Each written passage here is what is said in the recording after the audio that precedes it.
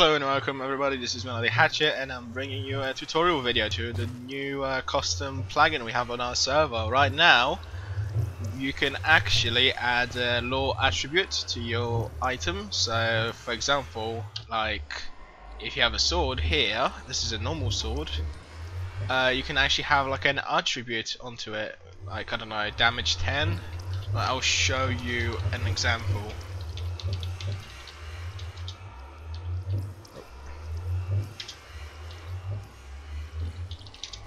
There we go.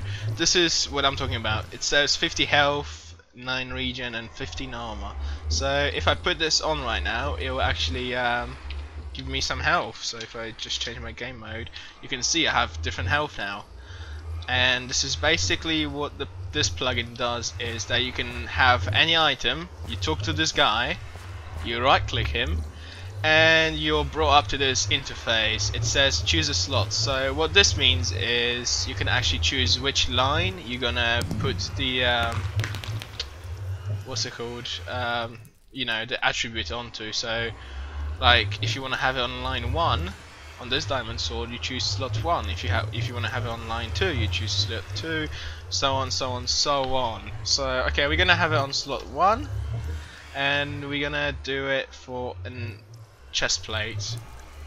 So this is where your item goes in, this nether brick box. And this is where the gems go in. So for the example, for the tutorial purposes, I'm going to use tier 2. So you can get these from bosses in our dungeons. So like Inus will, Inus will drop uh, tier 2 uh, broken one from hard dungeon will drop tier 2 tier 1 is spider queen and guardians and gods I think.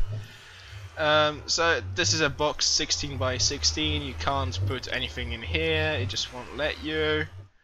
Um, yeah so you can't put anything in there. Uh, okay and this is the mix button. So if you press this you will actually have like a random chance of um, getting the the lore, you know, the lore from tier one. I mean tier two because we got tier two gems. So okay, these are chaos gems. Um, each one of them is two percent plus to success rate.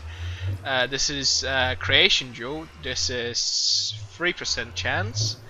Uh, this is uh, soul jewel, and it's uh, three 4% and this is Blessed Jewel which is 5% and these are extremely rare Jewel of ha Harmony tier 2 they are 15% each so no actually they are 25 yeah 25 so it's a significant significant boost. Um, alright so let's give it first pin. So I'm gonna use one of those and right now it says best of chance of success best chance of success which means basically the highest tier chance. So if you want to mix like tier 1 and tier 2 gems what what the mixer will do is he will calculate which gem has the higher chance. So if you have I don't know Jewel of Harmony tier 2 and you have uh, Chaos Jewel tier 1 the mixer will, will say okay this guy has 2% to get tier 1 so he's not going to bother about that. He's going to give him the um, the chance to get tier 2 because it's 15%. I mean 25, which is significantly, you know, bigger. So to update the best of chat, the best chance of success, what you gotta do is you gotta click on your item and just click on the Nether Star and put it back in. And now, ooh, okay, wait, is it broken? Think it's broken. Oh god damn it. Don't, don't mess something up. Let's try this.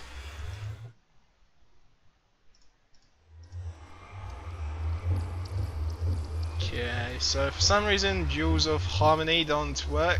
I will fix that. but as you can see, Blessed Jewel, 5%.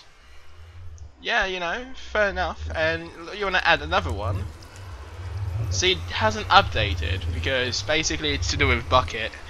Uh, there's a there's quite a few problems with updating inventory and Bukkit. It's quite a lot to um, you know get into. So you want to update the uh, success chance. What you do is you uh, do the same thing again, and voila, 10. 5 plus 5 equals 10. Um, okay, so what happens now if let's say you want to cheat and stack them?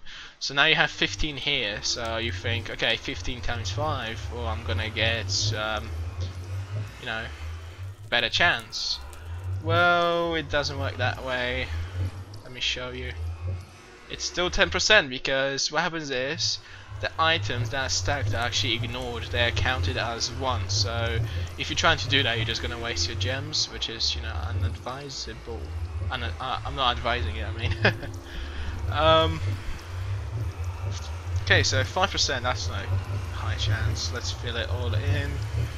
And let's see sometimes the inventory can be a bit glitchy. What I advise you to do is um, drag a gem and right click right in the middle and just try to do it slowly. Um, okay, let's mix some of these. And voila. Okay, let's see what chances we got. So sometimes it updates, but sometimes it doesn't. But you know, if you want to be 100% sure of the real chance, what you do is just Voila. 50%. Okay, so you have now 50% chance of getting a tier 2 lore onto this item. Uh, the tier 2 lore list goes as follows for armor is 12 12 um, plus 12 health plus 13 health plus 14 health plus 17 health plus 12 health plus 16 armor plus 15 armor plus 20 armor plus 2 regen, and plus 6% evasion. So now what happens is if if the mix is successful, you have basically you have a chance of getting one of those lores onto this item. So let's see which one we get. Oh, and if you want to exit, you just press the fire. Right. Let's mix it. Oh, okay. So I lost my item, so we didn't get it so that's a shame and you can hit you you probably heard like a little breaking noise that's the noise if um, if the mixing fails so let, now let's use these because these have a 5% chance each so we should be we would have to be very unlucky to fail so yeah you see sometimes these disappear like that and they just go back into your inventory it's quite annoying but I mean I did my best. okay, let's update it. 78% chance to get success. Okay, I think those are pretty good odds. And voila, you hear like a level up noise. And you have a 20 plus armor diamond helmet. So if you put it on, now you have 20 plus armor. So yeah, that's about it. Well, uh, there are a few other things like you can't mix different um, tiers, like I mentioned before. You shouldn't mix uh, weapons and armor gems because what will happen is um, you don't want to have a low attribute onto your armor that's like plus 5 damage because what will happen is it won't actually apply. It's sort of just wasting your gems. So I don't advise you to do it. Um, if you wanna, if you want more info, you just right click that sign, and this is like a tutorial for it. It's uh, pretty friendly. Um, that's about it. So, um, see ya.